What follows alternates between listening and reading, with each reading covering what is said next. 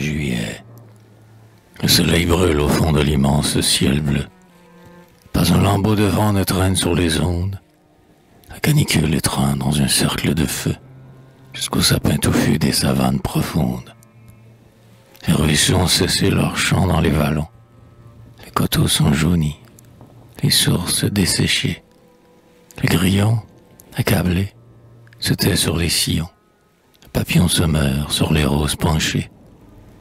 Tout souffre et tout gémit dans ce nouvel enfer. Et, par les poudreux, en quête d'un asile, les citadins hier ont déserté la ville pour humer l'air léger des monts ou de la mer. Mais l'effluve est aussi lourd dans le bas du fleuve, et le brun rêverin, la foie sifflante au poing, en ouvrant sa tranchée à travers les grands foins, péniblement allait, imprudemment s'abreuve. Le soleil parfois semble une flaque de sang, et soudain un nuage à la frange écarlate monte de l'horizon. L'orage menaçant accourt.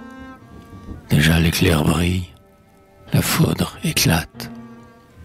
Bientôt le ciel voilé laisse couler ses pleurs sous cette aspersion sonore, fraîche et dense.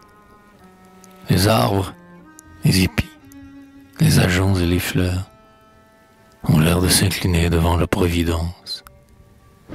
Mais l'azur sourit au terroir tout trempé et le soir, sur le pas de nos portes ouvertes, de nos grisons de l'âcre odeur des feuilles vertes, de l'orge blondissante et du foin frais coupé,